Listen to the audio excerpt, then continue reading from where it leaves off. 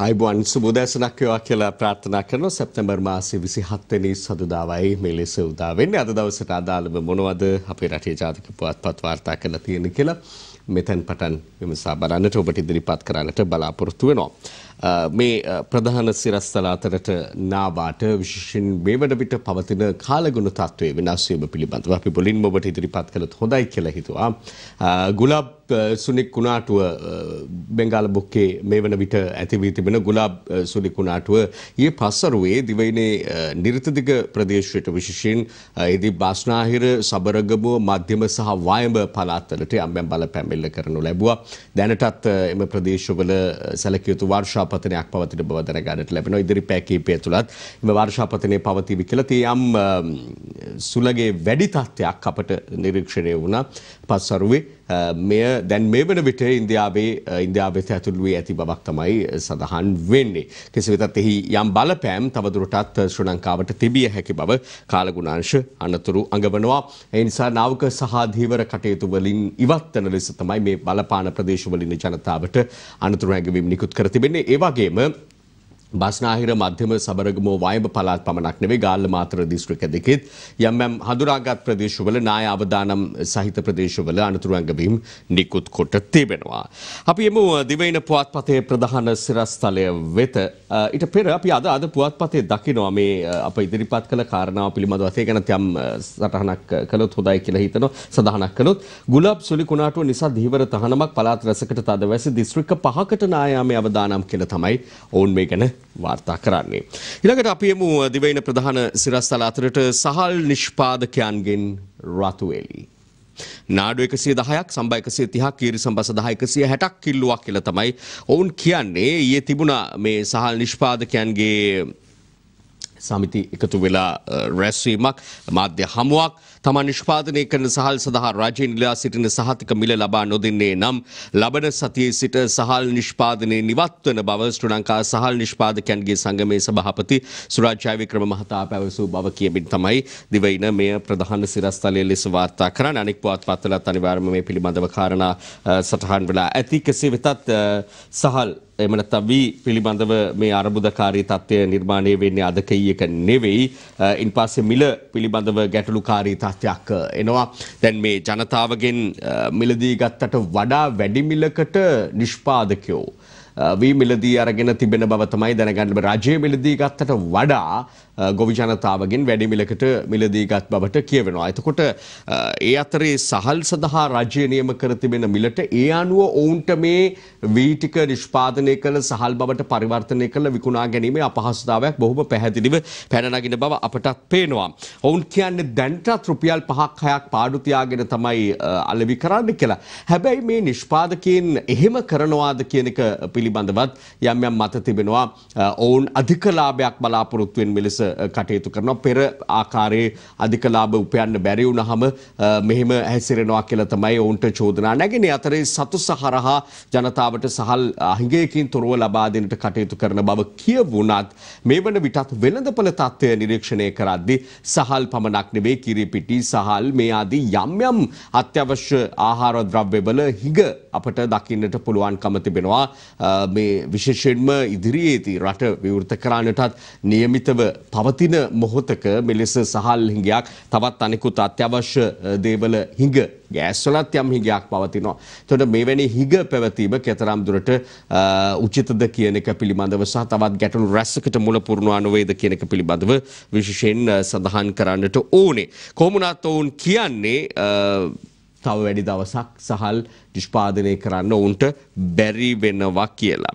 කොමුණත් අවසාන වශයෙන් මේ සියල්ල මාෆියාවකට යටත් වෙලා තිබෙනවා කීප දෙනෙකු අතේ මේ සියල්ල තිබෙන්නේ කියන එක ඇතැම් අය ප්‍රකාශ කරන කාරණාවක් මේ රජයටත් මේ ආණ්ඩුවටත් එය මඩින්නට මොන වැටලීම් කරත් අත්‍යවශ්‍ය සේවා කොමසාරිස්වරයෙක් පත් කරත් මොනවා කළත් බැරි වෙලා තිබෙන බවටත් ආණ්ඩුවේ නොහැකියාව පිළිබඳව මේ ආණ්ඩුවට පමණක් නෙවෙයි කිසිම රාජ්‍යයකට මේ සහල් කර්මාන්තයේ සහල් නිෂ්පාදනයේදී යම් සීමාවන් වලට යටත්ව පමණයි කටයුතු කරන්න ලැබෙන්නේ. ව්‍යාපාරිකයින් තමයි මේ සියල්ල හසුරවන්නේ කියලත් ඒ අතරේ කියවෙනවා. ඒ සමග අපි අවධානය යොමු කරන තවත් ප්‍රධාන කාරණා අතරට දිනමින පත්තරේ ප්‍රධාන සිරස්තලයේ ඉන්ධන මිලදී ගන්න මුදල් නිදහස් කරනවා. වාහන ආනයනය නැවැත්වීම ගැන සමාලෝචනය කරනවා. මහබැංකු අධිපති අජිත් නිවාඩ් කබ්‍රාල් මහතා උපුටා දක්වමින් දිනමින පුවත් පතගෙනන ප්‍රධාන සිරස්තලය. ඊතුමා මේ ප්‍රකාශය නිකුත් කිරීමත් එක්ක මේ ලබා දෙන්නේ දෙසැම්බර් මාසේඳලා වාහන නැවත මෙරටට ආනයනය කිරීම පිළිබඳ ඉගියක් දෙයක්ද කියලා බොහෝ දෙනා කතා කරන්නට පටන් ගත්තා. මොකද ආනයනය පිළිබඳ යලි සමාලෝචනයකට යනවා කියලා මේ වෙලාවේ නොවටිනා ගණන් වලට වාහන මිල වෙලා තියෙන අලෙවි කරන මිලදී ගන්න කාලයක් බවට පරිවර්තනය වෙලා තිබෙනවා. ඒ නිසාම එහි අයහපත් ප්‍රතිඵල ඉදිරි කාලයේ අත්විඳින්නට වේවි කියලත් මේ පිළිබඳ විශේෂඥතාවයක් ඔබවන අය කියනවා.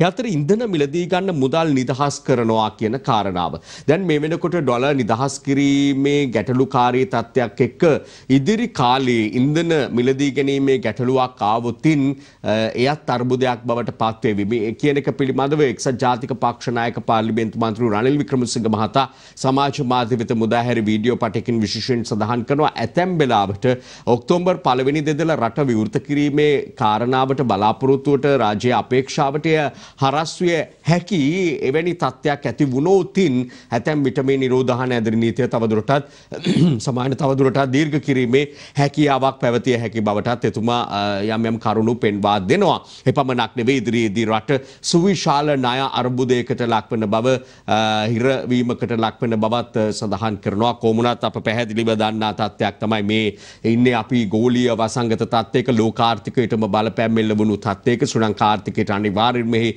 දරුණු ප්‍රතිවිපාක අත්විඳින්නට වෙනවා. මොකද අපි පවත්වාගෙන ආවේ හැම වසරකම ආදායමට වඩා වියදම අතිශය වැඩි අයවැය පරතරය හිඟය බොහොම දැඩිව බලපාන ආර්ථිකයක් අපි දර්ශක ගණනාවක ඉඳලා මේ රටේ පවත්වාගෙන එන්නේ. එතකොට ඒ ඒ කාලවල රටට නායකත්වයේ දීපු එතුමන්ලා ගත්තු යම් යම් ප්‍රතිපත්තිමය තීන්දුව තීරණත් මේ තුල තිබෙන බව විශේෂයෙන් සඳහන් කරන්නට ඕනේ. මේ අතරට ලංකාදීප පත්තරේ ප්‍රධාන සිරස්තලයේ එකතු කරන්නටත් අප බලාපොරොත්තු වෙනවා. ඒ ප්‍රධාන සිරස්තල කීපයක් තියෙන එකසු කළ හැකි කිරිපිටි ගෑස් පිටි සිමෙන්ති මිල නගී තීන්දුව අද කැමිනට්ටුවේදී මේ වන විට ජීවන වියදා මනු කමිටුව විසින් යම් යම් නිර්දේශ ලබා දීලා තිබෙනවා.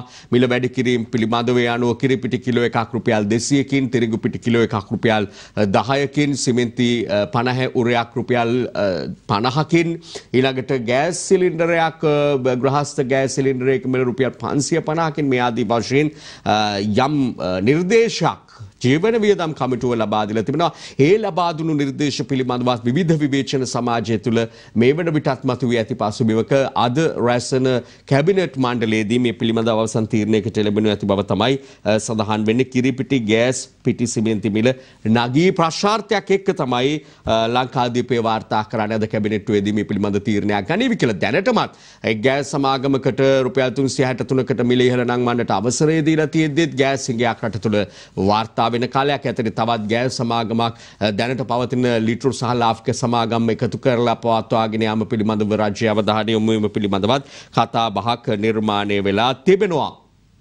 ඒ අතරේ යුදගනවී බලාගාරයේ ඇමරිකාවට සියට හතලයක කොටස් කිරීමේ කාරණාවේදීත් මේ අමාත්‍ය බණ්ඩල තීරණ ගැනීම් පිළිබඳව කැබිනෙට් එකේ ගත්තු තීන්දු තීරණ ඊළඟට මේ ගෙවිසුම මහරය අත්සන් කිරීම පිළිබඳව මේ ආදී විවිධ කතා එම නැත්තා විවිධ මත ඒ සමගම විවිධ චෝදනා නැගීම් මේ පිළිබඳව අපට නිරන්තර වාසනට දකිින් තිබෙනවා. ඒ අතරතුරේදී දැනටමත් මේ පසුගේ කාලේ ඉඳලම ආණ්ඩුව ඇතුළෙමින් ආණ්ඩුවේ හවුල්කාර පක්ෂ කීපයක නායකයෝ තවමත් ඉන්නේ මේ කාරණා පිළිබඳව නොසතුටෙන් කියන එක තමයි ඔවුන්ගේ අදහස් දැක්වීම තුළ දකින්නට අසන්නට ලැබෙන්නේ. ඩොලර් නැතුව කිරිපිටි ටොන් 360ක් වරායේ හිර වෙලා කියලා එක පුවතක් තියෙනවා. ඊළඟට රට පුරා කිරිපිටි ගෑස් සිමෙන්ති හිඟයක් පවතිනවා කියලා තවත් පුවත් වාර්තාවක තියෙනවා. මේ ආදී මේ ගැටලුකාරී තත්ත්වයන් පිළිබඳව තොරතුරු වාර්තා වෙනවා. ඊළඟට සතොස සුදුලුණු වංචාව CID ඇමතිගෙන් ප්‍රකාශයක් ගනී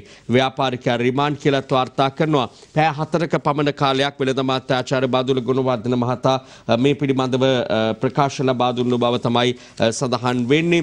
අරුණ පුවත්පතේ වාර්තාවක දැක්වෙනවා සතොස සුදුලුණු වංචාව ඇමති බන්දුල ඇමතිගේ කැමැත්තෙන්ම CIDට ප්‍රකාශයක් ලබා දීමට ඉදිරිපත් වුණා කියලා එතුමා මේ පිළිබඳව ඉතාම කඩිනමින් පරීක්ෂණයක් කරන්න කියන එක තමයි ඉල්ලා සිටියේ පාරිභෝගික සේවා අධිකාරී හිටපු අධ්‍යක්ෂවරයා විදිහට කටයුතු කළ තුෂාන් ගුණවර්ධන මහතා විසින් සමාජ මාධ්‍ය වෙත මුදාහැරි කාරණා පිළිබඳව තමන්ට චෝදනා නැගෙනවා කියලා සඳහන් කරමින් ඔහු ඒ පිළිබඳව විධිමත් විනිවිද භාවයෙන් උතු පරීක්ෂණයක් කරන්න කියලා ඉල්ලුවා. මව්බිම පුවත්පතේ තියෙනවා CID ඇමති බන්දුලගෙන් පැය හතරක ප්‍රකාශයක් ගනී කියලා. මේ ප්‍රකාශයට තුෂාන් මහත්මයා ඉදිරිපත් කළ ප්‍රකාශයත් ඔහු අන්තර්ගත කරලා තිබෙන බවත් තොරතුරු දැනගන්නට ලැබෙනවා.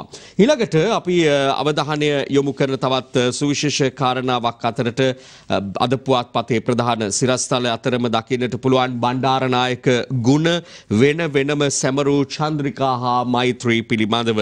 ශ්‍රී ලංකා නිදහස් පක්ෂය බණ්ඩාරනායක නම විකුණාගෙන කෑම විතරයි කර තිබෙන්නේ කියලා හිටපු ජනාධිපතිනි චන්ද්‍රිකා කුමාර බණ්ඩාරනායක කුමාරතුංග මැතිණිය සඳහන් කරද්දී ශ්‍රී ලංකා නිදහස් පක්ෂ සභාපති හිටපු ජනාධිපති මෛත්‍රීපාල සිරිසේන මහතා කියනවා ඉදිරියේදී බණ්ඩාරනායක ප්‍රතිපත්ති මූලික කරගෙන ශ්‍රී ලංකා නිදහස් පක්ෂය ශක්තිමත්ව ගොඩනගනවා කියලා. අතරේ එතුමා එක්සත් ජනතා නිදහස් සන්ධානයේ අලි ශක්තිමත් කිරීම පිළිබඳව නායකත්වය දීමටත් සූදානම් බව සඳහන් කරමින් ඒ සම්බන්ධව යම් යම් පියවර ගනිමින් තිබෙන කාලයක් කියන එකත් විශේෂයෙන් සඳහන් කරන්නට ඕනේ. දිවයින මේ පිළිබඳව ගෙනෙන වාර්තාවේ තියෙනවා බණ්ඩාරනායක සමාධියට වෙන වෙනම පුෂ්පෝපහාර දැක්වීම පිළිබඳව මේ අවස්ථාවේ මාධ්‍ය විමසද්දී චන්ද්‍රික චන්ද්‍රිකා බණ්ඩාරනායක කුමාරතුංග මැතිනියගෙන් ඇය කියන්නේ කවදත් පවුලේ අය විදිහට අපි තමයි මේ සැමරීම සිදු කළේ මැතිනිය ඒ සඳහා අවශ්‍ය කටයුතු කරලයි සමුගත්තේ කියන එක පිළිබඳව නැතුව ශ්‍රී ලංකා නිදහස් පක්ෂයේ සභාපතිවරයා විදිහට ඉන්නේ හිටපු ජනාධිපතිවරයා පහුගිය කාලේ ජනාධිපති පදවිය ඉන්නකොට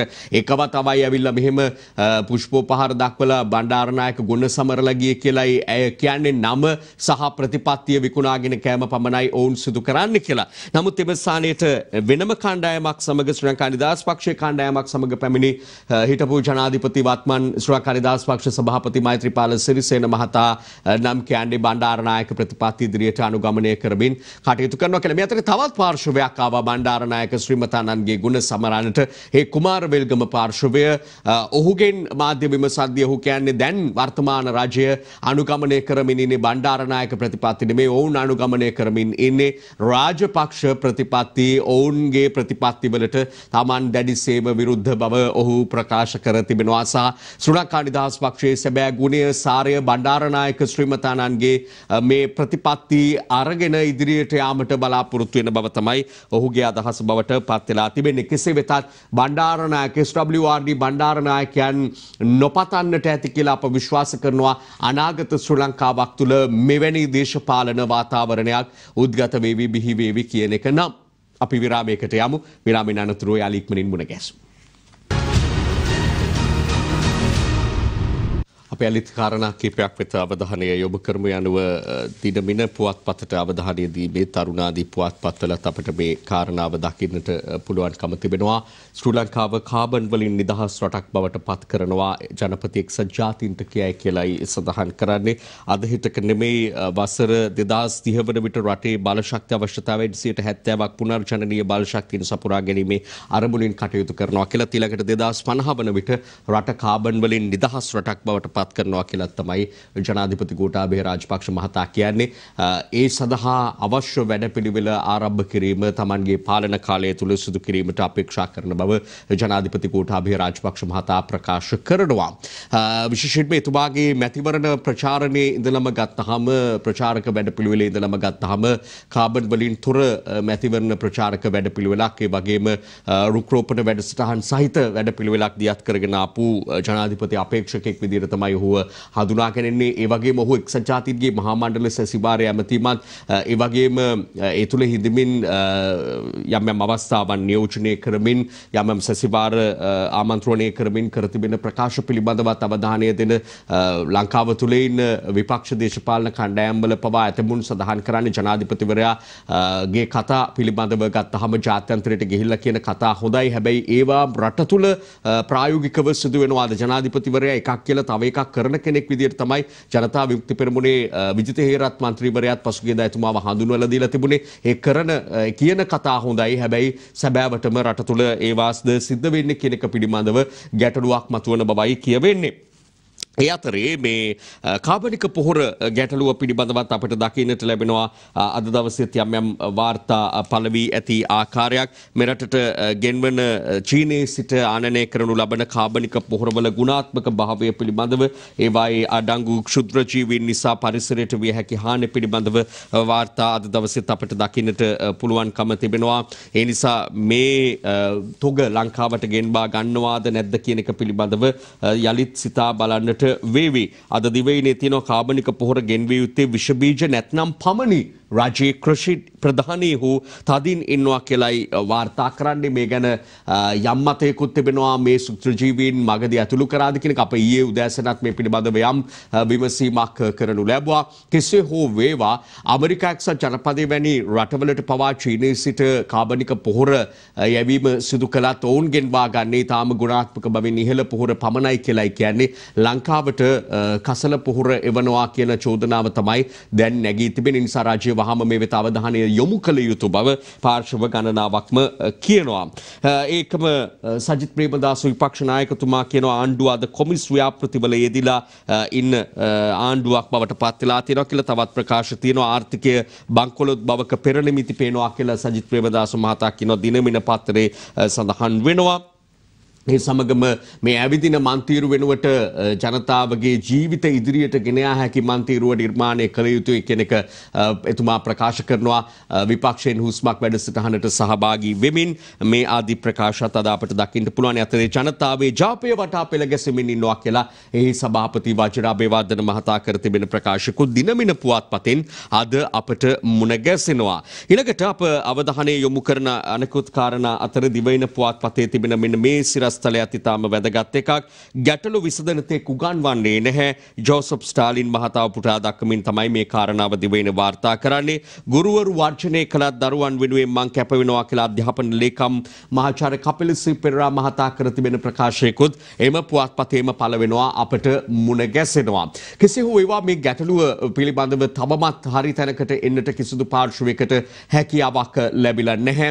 ඉදිරියේදී ක්‍රමානුකූලව පාසල් ආරම්භ කිරීම කෙරෙහි ඔක්තෝබර් මාසයේ මැද සිට හෝ පාසල් ආරම්භ කිරීම කෙරෙහි රාජ්‍ය අවධානය යොමු වෙලා තියෙද්දී ඉදිරි විභාග පැවැත්වීම ආදිය නියමිතව තියෙද්දී ගුරු සංගම් නායකයෝ ඉන්නේ දැඩි ප්‍රතිපත්තියක තවමත් කිසි ලෙසකවත් පාසල් අධ්‍යාපනයට සම්බන්ධ වෙන්නේ නැහැ කියලා සහ මේ විභාග කටයුතු සදා සහභාගී වෙන්නේ නැහැ කියලා තමයි ඔවුන් නම් කියන්නේ. දැන් මේ පිළිබඳව දැඩි කතා බහක් සමාජය තුලත් නිර්මාණය වෙලා තිබෙනවා කිසි වෙතත් පාසල් ආරම්භ කළොත් ආරම්භ කිරීමේ හැකියාවක් ආවොත් ඒදී මේ තත්ත්වය උත්සන්න වීමේ හැකියාවක් තිබෙනවා. ඒ අතරේ සෞඛ්‍ය වෘත්තීය සමිතිය අද පැය පහක් විරෝධතාවක යෙදෙනවා කියලා සඳහන් වෙනවා. මේ සඳහා කණ්ඩායම් 44ක් පෙළගැසී සිටින බවත් පැය පහක පමණ කාලයක් උදෑසන 7 ඉඳලා මේ වෘත්තීය ක්‍රියාමාර්ගය ගැනීමට නියමිත බවත් ඉල්ලීම 8ක් මුල් කර ගනිමින් මෙලෙස වෘත්තීය ක්‍රියාමාර්ගයේ යෙදෙන බවත් තමයි සමන් රත්නප්‍රිය මහතා ඊයේ මාධ්‍ය හමුවේ ප්‍රකාශ කරන්නේ. විශේෂයෙන්ම රුපියල් හදහස් පන්සික දීමනාව කොවිඩ් අවසන් වනතුරු ඉල්ලීම සහ කොවිඩ් රාජකාරී යෙදනයට අවශ්‍ය පහසුකම් ඉල්ලීම ඇතුළු තවත් මේ කාලයක ඉදලා තිබිච්ච ගැටලුත් ඒ වගේම මේ කාලයට අදාළව මේ මොහොතේ ඉල්ලා සිටිය යුතුද? මේ මොහොතේ ඒ පිළිබඳව ක්‍රියාමාර්ග ගැනීම සුදුසුද කියලා ප්‍රශ්නමතු වෙන කාරණාත් මේ අතර තියෙනවා කියන එකත් විශේෂයෙන් සඳහන් කරන්න ඕනේ. නමුත් බොහෝ දෙනා කියන ආකාරයෙන් මේ කොවිඩ් රාජකාරී යෙදලා ඉන්න වසංගත කාලය තුල රාජකාරී කරන කරන හෙද සේවේ අයට හිමිවිය යුතු දීමන ලැබෙනවා නම් හොඳයි කියන එක තමයි බොහෝ පාර්ශවවල අදහස් බවට පත් වෙලා තියෙන්නේ. ඒ උදෙසා ඒ ප්‍රමුඛත්වයේ තබාගෙන තමයි මේ වෘත්තීය අරගලය දියාත් කරනවා කියලා කියන්නේ. අතරේ මුර්තිට්ටු ආනන්ද ස්වාමින් වහන්සේ මෙහෙවන හෙද සංගමය මේ සඳහා සහභාගී නොවන බව තමයි උන්වහන්සේ ඊයේ ප්‍රකාශ කරන්නේ. මේ අතරේ මෙරට පැතිරෙන ඩෙල්ටා අණු ප්‍රභේදය නම් කිරීමක් සිදු වෙනවා ශ්‍රී ජයවර්ධනපුර විශ්වවිද්‍යාලයේ මහාචාර්ය චන්දිම ජීවාන්දර ආචාර්ය චන්දිම ජීවාන්දර මහාචාර්ය නිලිකා මාලවිය ඇතුළු කණ්ඩායම මේ පිළිබඳව කරන පරීක්ෂණවල ප්‍රතිඵලයක් ලෙස අනුව ඒ වයි 28 ලෙස නම් කොට ඇති බවක් තමයි දිවයින පුවත් වාර්තාවේ සඳහන් වෙන්නේ. දිවයින ප්‍රධාන සිරස්තලයේ දැක්වෙනවා වටවල මවුන්ටන් ජින් වත්තේ මැණික් උස්සන්න බලවත්තු යකා නටති කියලත් වාර්තාවක්. අපෙන් අවසර ගත්තේ නැහැ කියලා අඹගමුව සභාපතිවරයා කියනවා. මේක නීත්‍යානුකූල ව්‍යාපෘතියක් කියලා මැණික් අධිකාරී සභාපති කියනවා. පර්ජ 40ක විතර වෙන් කරපු ප්‍රමාණයක් වට කරලා තියාගෙන අක්කර පහක ප්‍රමාණයක මේ මැණික් ගැරීමේ ජාවාරමක් විදිහට එය ක්‍රියාත්මක වන බව තමයි සඳහන් කරන්නේ. යුගදනවි කොටස් මාරුවට ගිවිසුම් අත්සන් කළා මිස අවසන් එකගතාවක් නැහැ කියලා මුදල් ලේකම් කෙනෙකුට ගිවිසුම් ගතවීමේ තත්ත්වය මොකක්ද කියන එක පිළිබඳවත් ඕනම කෙනෙකුට ප්‍රශ්නයක් මතු වෙනවා. මේ අධිකාරණ අපට දකින්නට ලැබෙනවා. දිනමින පත්තරේ තියෙන අනුරපුර බන්ධනාගාරයේ රැඳවුවන් යාපනයට මාරු කරන්න කියන්නේ නිවෙස් වලට ළඟ නිසා කියලා අධිකරණ නැමැති ජනාධිපති නීතිඥ චාලි සබ්රි මහතා පුටා දක්වමින් වාර්තාවක්. අරුණේ ප්‍රධාන සිරස්තලයේ තියෙන වසර 3කට පසු අභිරහස එළියට කෝටි 50ක දීපොළ ගන්න ලෝක ප්‍රකට ඉංජිනේරු ඉංජිනේරුවා මරලා හංගලා රට ගිය බවට ඔප්පු කරාට ගුවන්තොටුපළ දත්ත වෙනස් කළා ඥාතියෙක් ඇතුළු තිදෙනෙක් කවුල් ඝාතනය කළේ හදාගත්ත දරුවට වත්කම් ලියලා දෙනවට කියලා තමයි මේ පිළිබඳව වාර්තා කරන්නේ අපරාධ පරීක්ෂණ දෙපාර්තමේන්තුව ඇසුරෙන් අරුණ පුවත්පත ගෙනෙන වාර්තාවක් එලෙස අපට අද කියවන්නට ලැබෙනවා. මව්බිම පුවත්පතත් ඒ පිළිබඳව තමයි ප්‍රධාන සිරස්තලය ගෙනෙන්නේ. වසර තුනකට පසු කාකපල්ලියේ ඝාතන අභිරහස හෙළිවෙයි දීපල ගන්න කෝටිපති ඉංජිනේරුවා ඝාතනය කරලා කියලයි කරුණු අනාවරණ කරන්නේ මව්බිම පුවත්පත. රාජ්‍ය ඇමති හේරත් ජනතා මුදලින් ලක්ෂ 20 ගණනකට ඇඳන් හයක් කරන් කියලා සහ ඊයේ නාමල් කරරත්න මහත්මයා මාධ්‍ය හමුවකදී දිගු බඩු ලයිස්තුවක් ඉදිරිපත් කළා.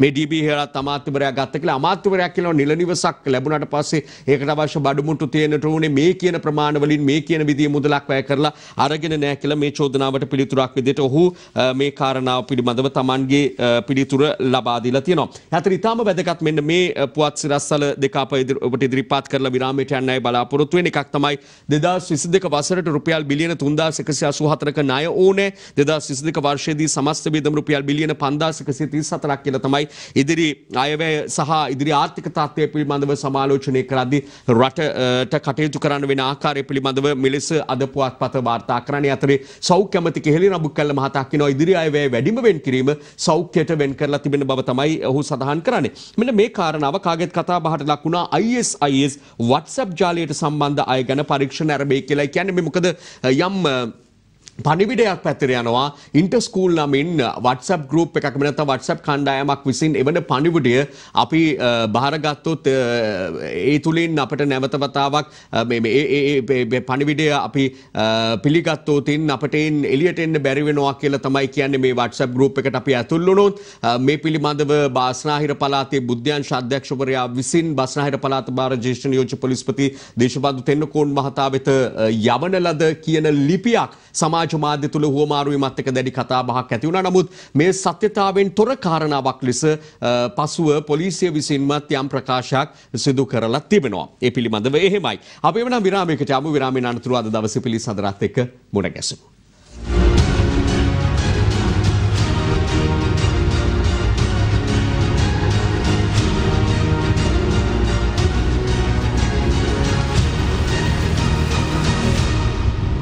දෙනපතා අලුත් වීඩියෝ සහ ප්‍රවෘත්ති නැරඹීමට ඉහත බටන එක කලික් කර සියත TV සබස්ක්‍රයිබ් කරන්න.